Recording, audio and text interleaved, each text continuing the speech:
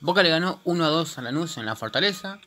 Este, goles de Tevez y Guanchope para marcar eh, los goles de, de Boca.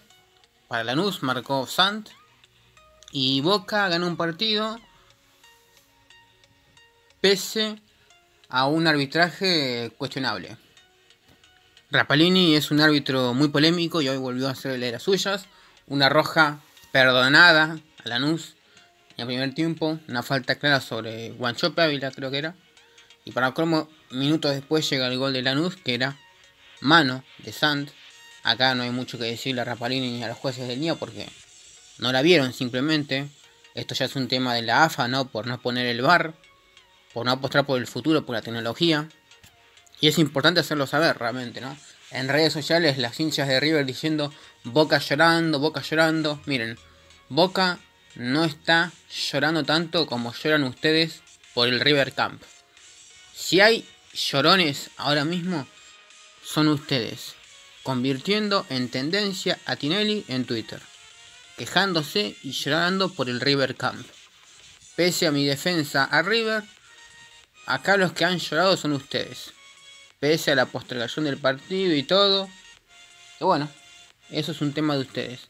Ahora, Boca llora porque no se marca una roja clarísima, que era ya dura amarilla, estaba amonestado.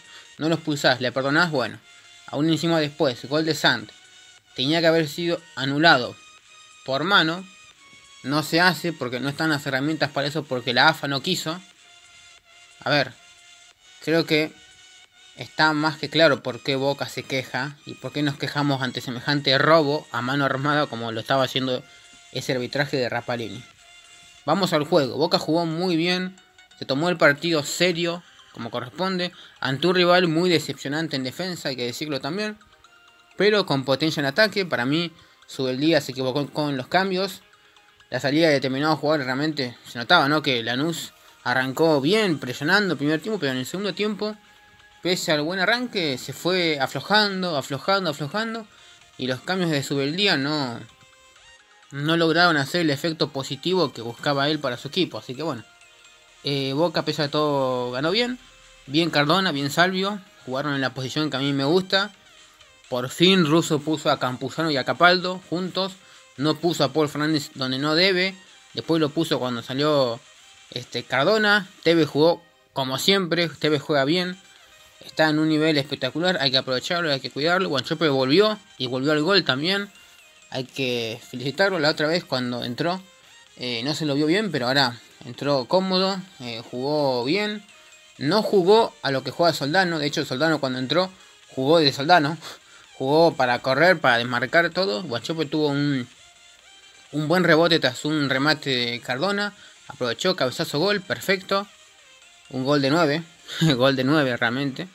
Y bueno, Boca logra superar esta, esta primera prueba en la Copa Liga del el fútbol argentino, este esperpéntico torneo que se han creado, pero que bueno, sirve como para tener más partidos, para prepararse para el Inter, para la Copa Libertadores.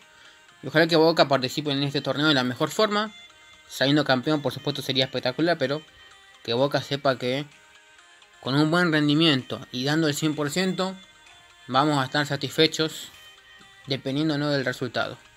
Así que nada, Boca ha ganado. 1 a 2 sobre Lanús. Y felicidades a los jugadores de Boca, se tomaron el partido muy seriamente. Bien ruso y bueno, a mejorar nomás. Gracias, hasta la próxima.